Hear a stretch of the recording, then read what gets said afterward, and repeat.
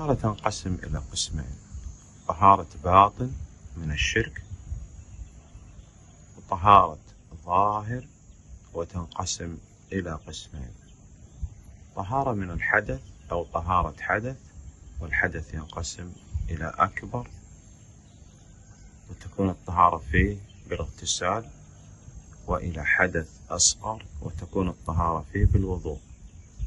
القسم الثاني من طهارة الظاهر الطهارة من الخبث من النجاسات فلا بد أن نطهر أشياء ثلاثة البدن والبقعة أي المكان الذي نصلي فيه والثوب.